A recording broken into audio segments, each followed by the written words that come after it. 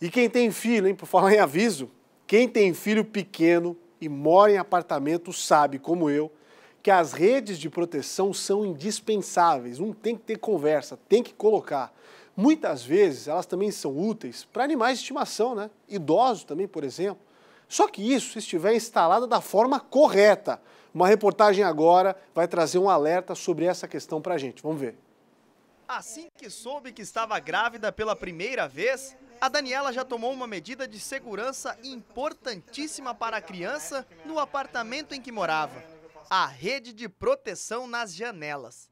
Assim que nós descobrimos que, que eu estava grávida, a primeira coisa que a gente foi, fez foi instalar a rede de proteção. Agora, com a vinda do segundo filho, já em outro apartamento, não perdeu tempo e logo procurou o profissional para adotar a mesma medida. Por mais que seja um apartamento térreo, é, ele tem os seus riscos, então a primeira coisa que nós fizemos foi fazer a instalação das redes de proteção.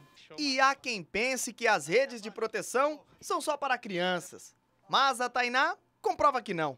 Depois que instalou o item na casa, pôde viver mais tranquila, com a certeza de que os gatinhos estão seguros. Para evitar a fuga, né? Porque pode, eles podem se machucar na rua, a gente não sabe. E também por causa do calor, eles, para mim.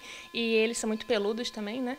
E sente muito calor. E agora eu deixo toda aberta, bem tranquilo. As redes de proteção são muito comuns e extremamente importantes nos apartamentos que têm crianças e animais pequenos. Mas tão importante quanto ter a rede é saber como ela foi feita e se de fato está instalada da maneira correta. O Maicon instala redes de proteção há 12 anos e durante esse tempo já viu muitas delas inadequadas. Redes mal instaladas, redes instaladas pelo pelo cliente, comprada pela internet, instalada sem noção nenhuma, achando que está protegido, mas eu, como profissional, tenho até medo do que pode vir a acontecer.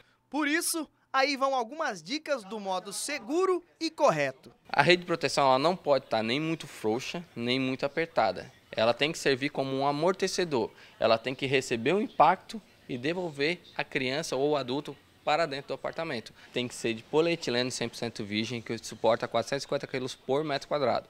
Os ganchos têm que ser colocados numa distância máxima de 35 centímetros. O correto de uma rede de proteção é segurar 450 quilos.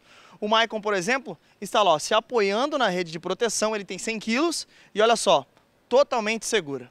E mesmo com toda essa resistência, a recomendação dos profissionais é que se troque a rede de 5 em 5 anos. Afinal, todo cuidado é pouco.